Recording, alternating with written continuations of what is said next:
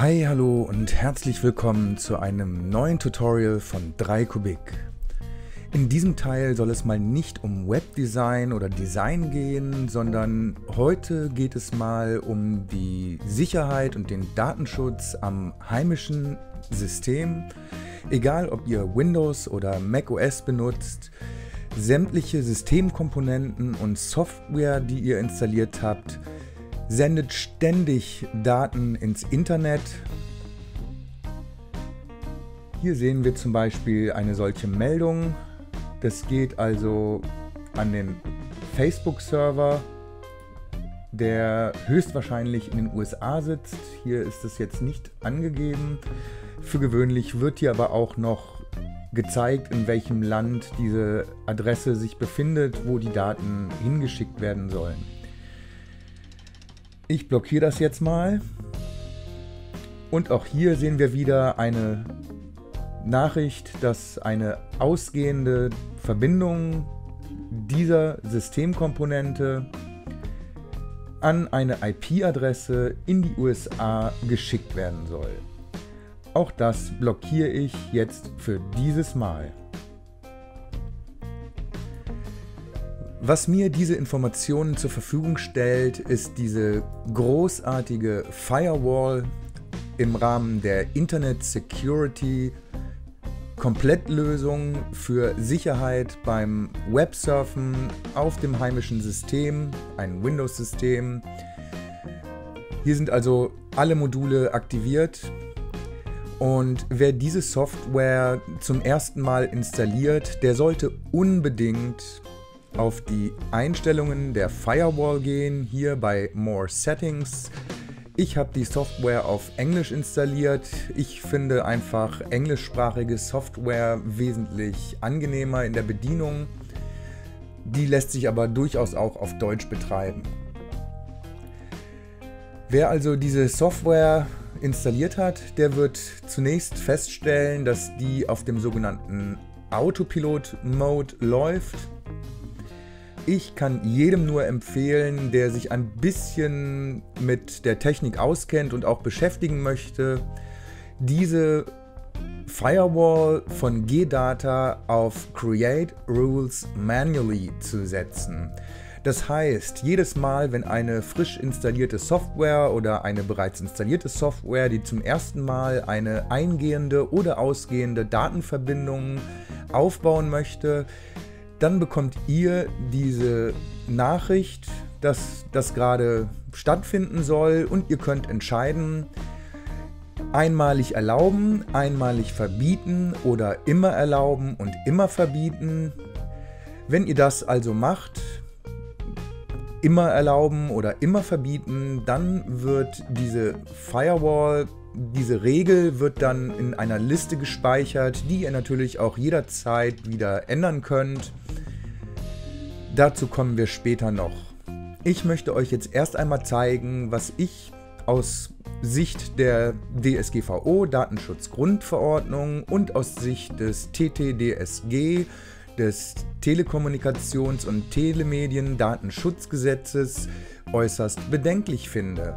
Also letzten Dienstag war ich auf einem WordPress-Meetup und wie immer ging es darum auch um Datenschutz, DSGVO für den Betrieb einer eigenen Website mit WordPress.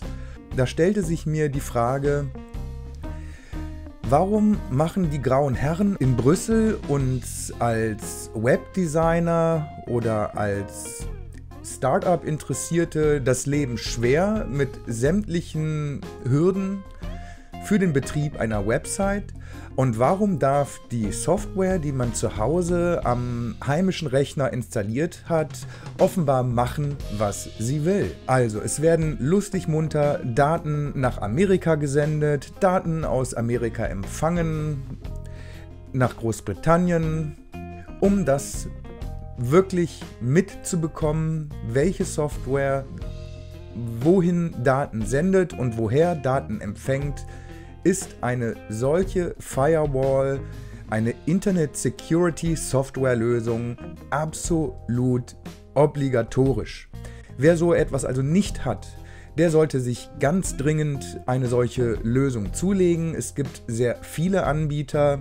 Anfang des Jahrtausends, als das so mit Internet für mich losging, da gab es noch eine kostenlose Firewall, die nannte sich Zone Alarm. Die habe ich immer verwendet und konnte so auch sicher sein, dass keine Software, die ich installiere, ungefragt Daten ins Internet sendet oder Daten aus dem Internet empfängt.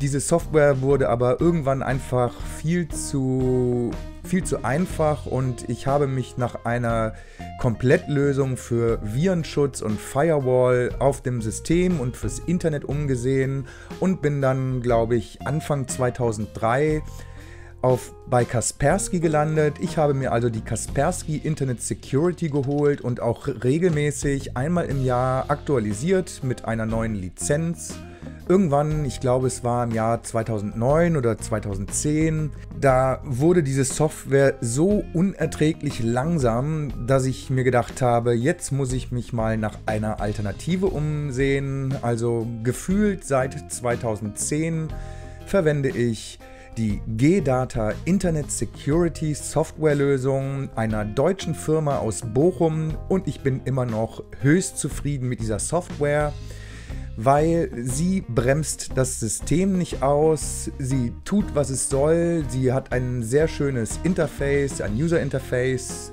für die ganzen Einstellungen, die man hier machen kann und ich verwende sie äußerst gerne und fühle mich damit auch gut geschützt vor Software, die ich auf meinem System installiert habe, vor Betriebssystemkomponenten, die auch lustig munter Daten in die USA senden. Wir sehen das jetzt hier zum Beispiel wieder. WhatsApp, diese App benutze ich auf meinem Windows-System. Ich habe sie noch nicht einmal gestartet und trotzdem sehen wir, es ist eine ausgehende Verbindung und hier steht es jetzt auch wieder, etwas abgeschnitten, aber man kann das hier markieren.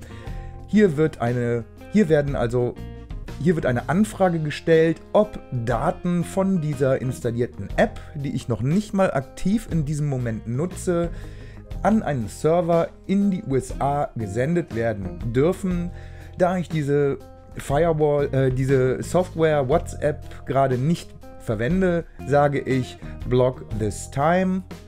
Ich möchte ihn natürlich nicht permanent blocken, weil wenn ich diese Software aktiv nutzen möchte, dann soll das natürlich auch funktionieren, dass ich damit meine WhatsApp-Nachrichten senden und empfangen kann. Schauen wir uns mal an, was ich habe ein paar ähm, Firewall-Regeln aus meiner Firewall vor Beginn dieses Tutorials entfernt.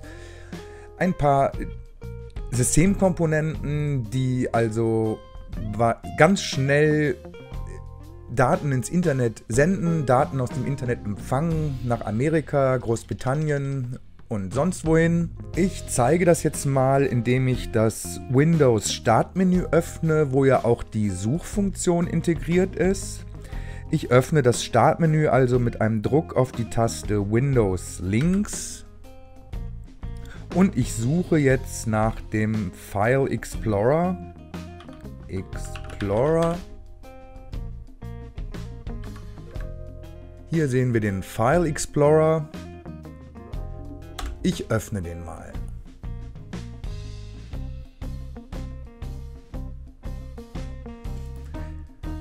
Seltsam, meine Firewall hat noch nicht Alarm geschlagen. Vielleicht hat Windows etwas an dieser Systemkomponente geändert. Es ist noch gar nicht allzu lange her. Da hat äh, sofort, sobald ich das Startmenü geöffnet habe und noch nicht mal eine Suche ausgeführt habe, hat sich ein Systemprozess namens search.ui.exe, executable file, eine ausführbare Datei, hat sich sofort mit einem Server in den USA verbunden und wollte Daten an diesen senden. Hier sehen wir die großen äh, Komponenten dieser Internet Security Software Lösung, also der Virenschutz und hier die Firewall.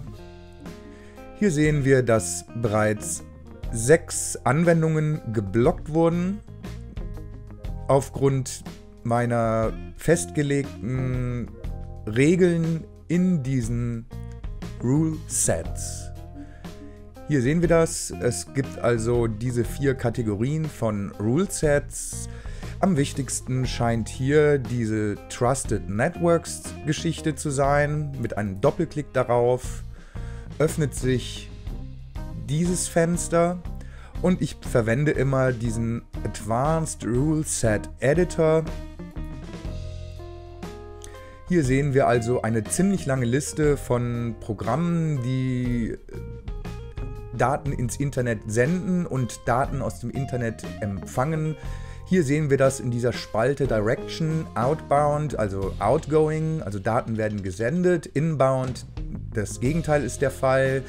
Daten werden aus dem Internet empfangen und manche Programme haben auch eine Inbound and Outbound Connection. Hier sehen wir das insbesondere bei diesen Systemprozessen, die hier vorhanden sind.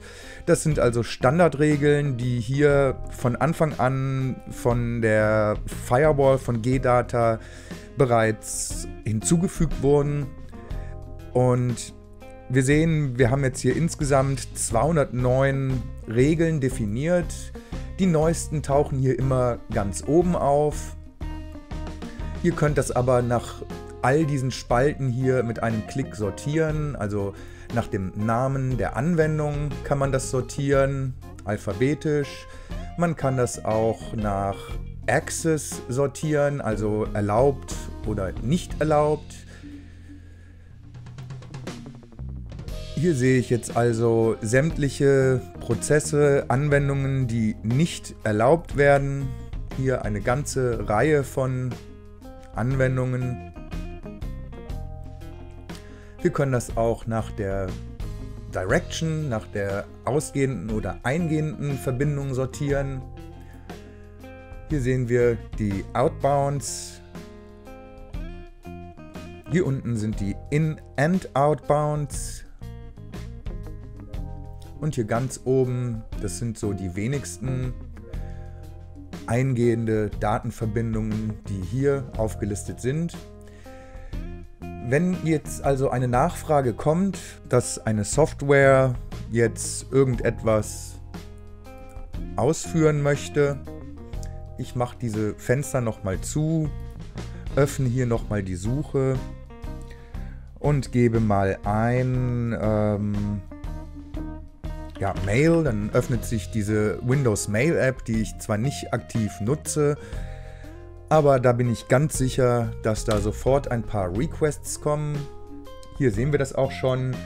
Dieser, diese Systemkomponente hxoutlook.exe versendet eine ausgehende, also versendet Daten an eine IP-Adresse in den Vereinigten Staaten man kann diese IP-Adresse hier kopieren. Dann geht man zu Google und sucht nach Who is IP.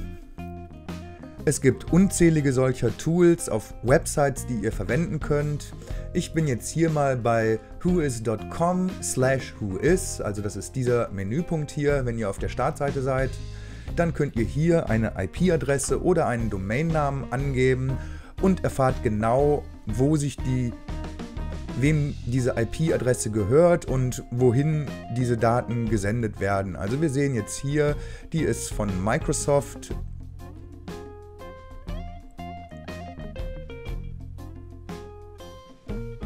In Redmond. In Washington. Das dürfte also in der Nähe von Seattle sein, glaube ich. Und dann kann man hier jetzt eine Entscheidung treffen. Die sollte man also bewusst treffen. Wer sich nicht sicher ist, sollte grundsätzlich immer erstmal sagen, Block this time, sodass ihr bei der nächsten Verbindung erneut gefragt werdet. Das kann natürlich auch auf die Dauer ganz schön nervig sein, wenn diese, diese Dinger hier permanent aufpoppen. Aber wenn ihr das mal eine Weile getestet habt mit den Anwendungen, die regelmäßig zu blocken, also dass da keine Daten empfangen oder gesendet werden können und ihr merkt, euer Betriebssystem funktioniert immer noch so gut wie vorher, dann könnt ihr irgendwann mal sagen, always block und habt dann eine Regel erstellt, die automatisch angewendet wird, ohne dass ihr jedes Mal mit einem solchen Dialog hier gefragt werdet. Ihr seht hier auch noch zwei weitere anklickbare, ja, in dem Falle Dateinamen, also Programme. Wir sehen hier, das ist die Application, also die Anwendung, die diese Anfrage stellt.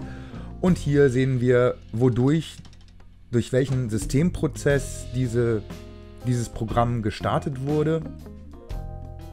Wir klicken jetzt hier mal auf HX Outlook Exe und es öffnet sich dieses Fenster, so dass wo wir sehen können, um welches Programm es sich genau handelt, wo es sich auf unserer Festplatte befindet. Also wir könnten jetzt hier mal auf Locating klicken, dann öffnet sich der Windows File Explorer und diese Datei, die hier diese Anfrage stellt, wird direkt markiert. Also wir sehen Windows Apps, Program Files, Windows Apps, Microsoft Windows Communications Apps.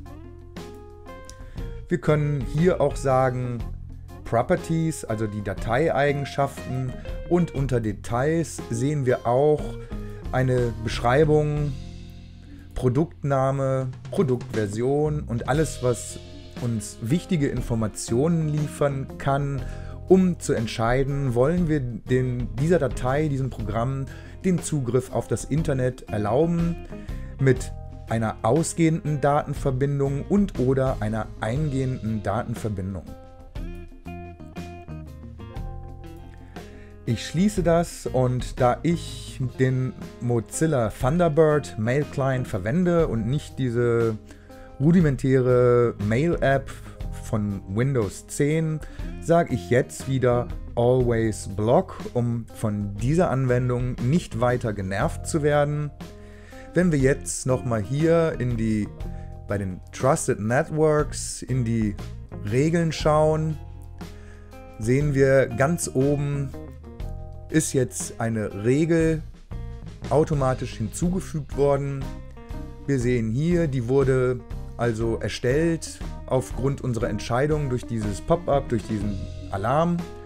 Hier sehen wir nochmal eine solche Datei, die ebenfalls wieder an eine andere IP-Adresse in den USA Informationen sendet. Ich gehe mal zu diesem Dienst und überprüfe, was sich hinter dieser IP-Adresse versteckt oder wer sich hinter dieser IP-Adresse versteckt. Und hier sehen wir, das scheint also in Amerika, in Chicago irgendwo zu sein. Auch von Microsoft. Ich checke diese IP jetzt nochmal mit dieser anderen Website. weil hier werden uns die exakten Who-Is-Informationen angezeigt. Microsoft, Redmond, Washington.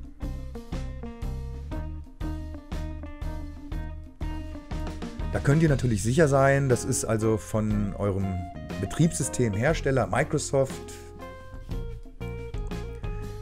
Einige Systemprozesse benötigen Zugriff auf das Internet, sowohl zum Senden als auch zum Empfangen von Daten. Aber in der Regel solltet ihr das genauestens im Blick haben, welche Software auf eurem Rechner installiert ist, ob eine eingehende Datenverbindung und oder eine ausgehende Datenverbindung zugelassen wird. Ganz, ganz wichtig ist natürlich hier die Web Protection, der E-Mail-Check, die Spam Protection, alles aktiviert und wirklich sehr, sehr wichtig, diese Firewall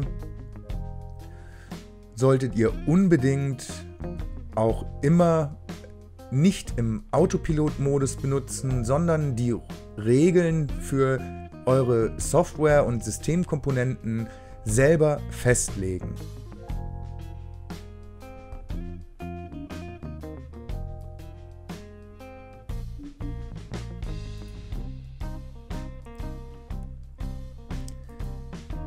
Hier sind also auch noch Einstellungen für die Anti-Spam-Funktion. Erweiterte Einstellungen für Antivirus.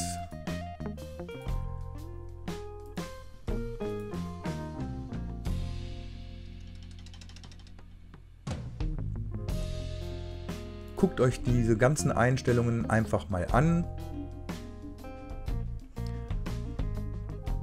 und schaut, wie das für euch am besten passt, wie diese Internet Security Software mit all seinen Modulen konfiguriert wird.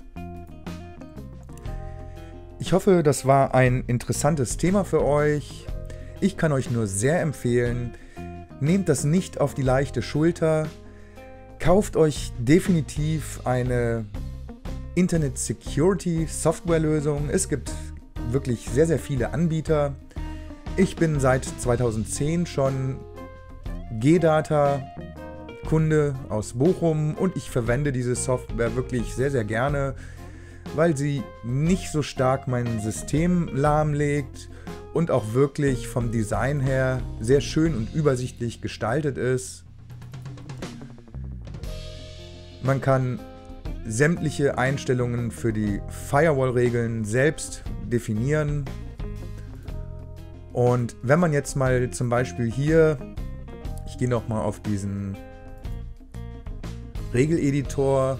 Wenn man sich mal hier vertan hat, man hat hier eine, ein Programm oder eine Systemkomponente dauerhaft blockiert, dann kann man die einfach markieren hier oder auch man kann mehrere markieren. Ich markiere jetzt mal nur diese, drücke die Taste entfernen und sage, ich möchte diese Regel damit wieder entfernen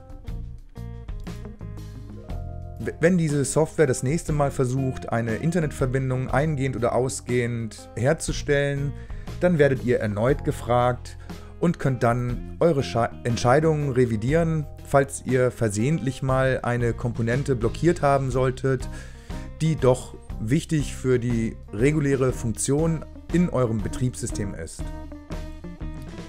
Ich hoffe, euch hat dieser Teil gefallen. Ich finde das persönlich ein sehr, sehr wichtiges Thema, denn alle reden von Datenschutz, DSGVO, TTDSG auf Websites. Uns Website-Betreibern wird das Leben damit schwer gemacht. Und die Software, die auf eurem Betriebssystem installiert ist oder auch euer Betriebssystem selbst, scheint da offenbar einen Freifahrtschein für lustige, muntere Datenverbindungen in die USA zu haben. Also, da sollte man mal drüber nachdenken. Ich hoffe, das hat euch hier was gebracht und dass ihr euch auch wirklich eine Firewall oder eine Internet Security Software zulegen werdet. Also für rund 30 Euro im Jahr ist so eine Lizenz für ein System erhältlich. Ich selbst kaufe mir immer so eine 3-Platz-Lizenz, die ich mir auch mit meiner Mutter noch teile und auf meinem Laptop und auf diesem Rechner, auf dem ich täglich arbeite. Damit spart man dann nochmal einiges pro Lizenz für einen Computer. Jetzt bald, am 26.02. läuft meine Lizenz wieder aus und ich werde eine erneute 3-Platz-Lizenz von G-Data aus Bochum besorgen. Also, Nehmt die Sicherheit an eurem heimischen Arbeitsrechner ernst, kauft euch eine Internet Security Software Lösung. Ich kann euch G-Data nur sehr ans Herz legen, nicht zuletzt, weil es ein deutsches Unternehmen ist, was in Bochum sitzt. Seit Beginn des russischen Angriffskrieges auf die Ukraine gab es diverse Internetblogs, wie zum Beispiel heise.de, t3n.de, die ausdrücklich davor gewarnt haben, eine solche Firewall-Lösung aus Russland auf dem System einzusetzen. Ich bin sicher, dass der Herr Kaspersky aus Russland kein böser Mensch ist. Immerhin hatte ich seine Software auch sehr, sehr lange verwendet. Sie wurde mir einfach nur zu langsam. Sie hat also mein System zu stark in Anspruch genommen und Seitdem nutze ich G-Data aus Bochum und bin immer noch sehr zufrieden damit. Ich freue mich auf ein weiteres Jahr mit G-Data. Also dann, ciao, ciao, tschüss und bis zum nächsten Tutorial. Eine schöne Woche.